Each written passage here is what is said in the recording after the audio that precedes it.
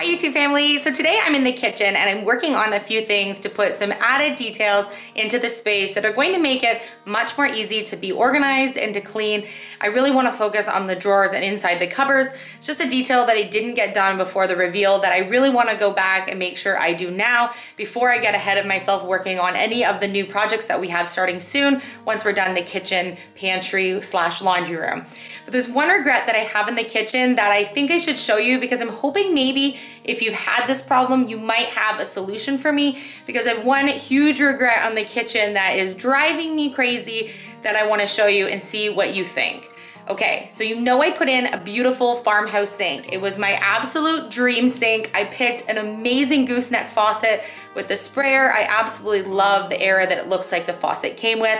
I even went as far as to make sure that the drain inserts were the same color as the faucet. But look at the problem I'm having with the sink. So this is the problem that I'm having. Every time a pot or frying pan or even just any of our regular plates touches the top of the sink here, which naturally your dishes will go from one side across to the other. If they hit it, I'm left with these black marks that will not come off no matter what I've put on them. And I looked online and I think there's some type of a cast iron material gel or something that I can rub on them, but I'm just not sure I wanna spend the money to order it and then it not work. So I'm just wondering if anyone's tried it or if anyone else has a sink like this and has had this same experience, what did you do to solve the problem? What I wanna do now, I know you saw when I did the actual built-in pantry cupboard that's in there that I'm using as a baking cupboard that I used this easy liner to be able to put on a MacTac bottom. It was similar to this, but this one is actually foam.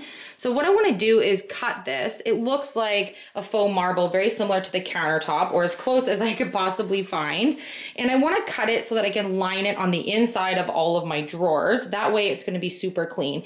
So I've gone ahead and put a clear coat on the inside part of the wood here. So that will be able to wipe off easily. So now I wanna make sure that the bottom can be cleaned out you know, sucked it with a vacuum if you get crumbs or something in it and just make it look really appealing when you open and shut the drawer. I think that's gonna look really nice. So I'm gonna cut it after measuring it and see what I think on the first drawer. If I like it, I'll carry on and do the rest.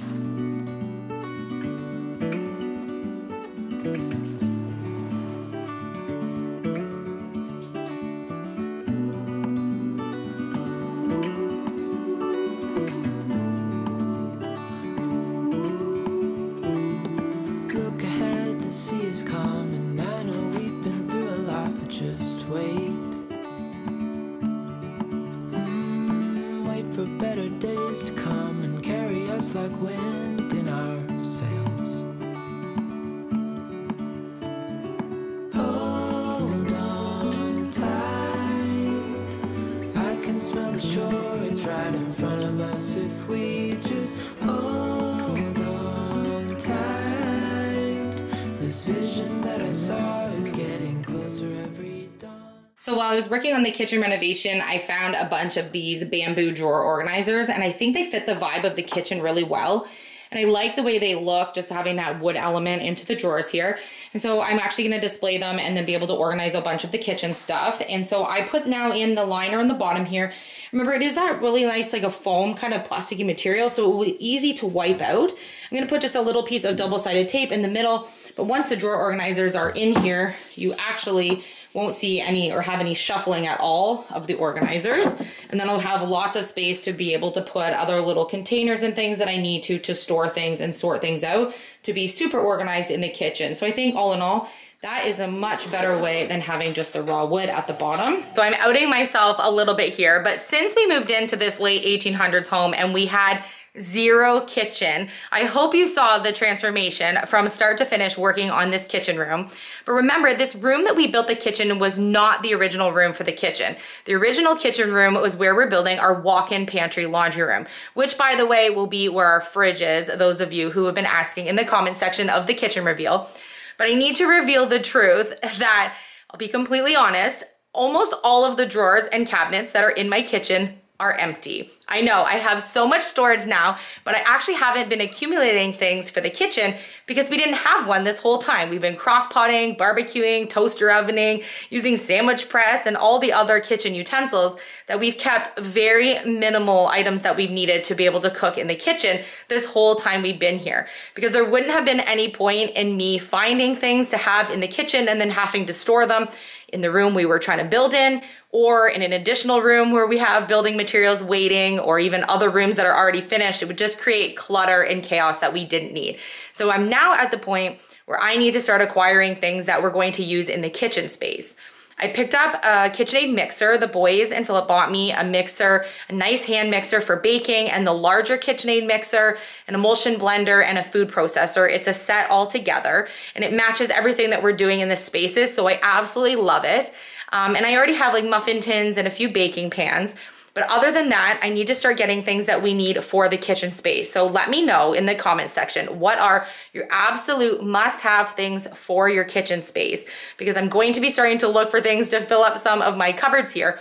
But keep in mind, I wanna keep things pretty minimalist because we don't wanna have a lot of extra clutter, just really useful tools that I can have in the kitchen. So let me know. Before we get too far working on the rest of the pantry laundry room renovation, we need to take down our storm boards. We put on the inside of the pantry room and the outside so we can let some light back in this space. We used any scrap wood that we had to be able to board this up to make sure that we were safe for Hurricane Fiona. Luckily, we had no damages if you didn't see that video. It's time to get the light back in here.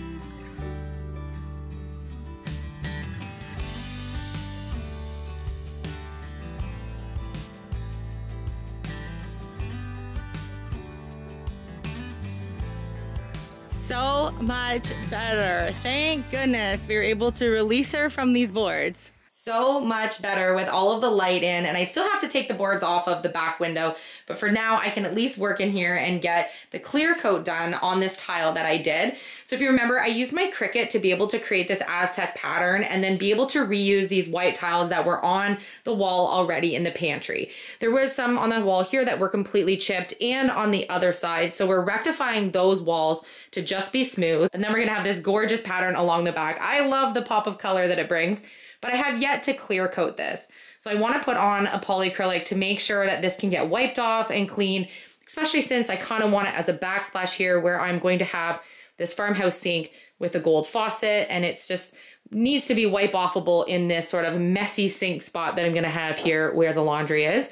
And if you missed a video where we did the gold on the laundry, you wanna go back and check it out. These are spray painted and I absolutely love them and I think it totally goes with the vibe.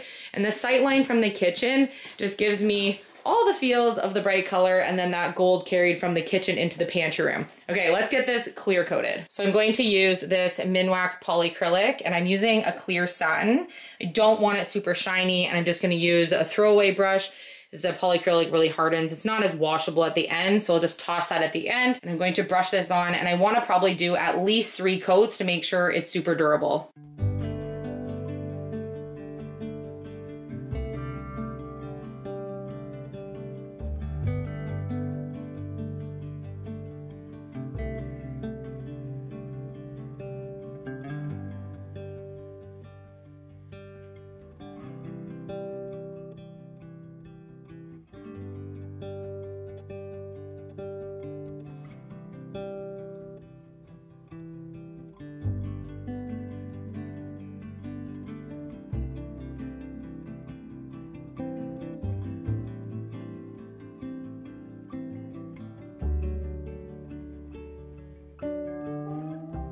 So right now it's looking really shiny in the light because it's wet and as it dries it's going to look more of just a really satin finish. be able to have it completely dry and then go back over it with two or three more coats. So I got a few things of progress accomplished today in the kitchen and the pantry laundry room here. I'm really excited because tomorrow the weather is supposed to be great and we're going to head outside and start cutting and getting ready to do the doors for the pantry getting this room finished up this week. We had a little bit of a setback in terms of timeline because of the hurricane prep, but we are back on track to get this room completed. And I can't wait for the final reveal, which will be coming up really soon. So stay tuned for tomorrow's episode. If you're new to our channel, hit subscribe. And if you missed our kitchen reveal, you don't wanna miss out. I will leave the card above. See you tomorrow.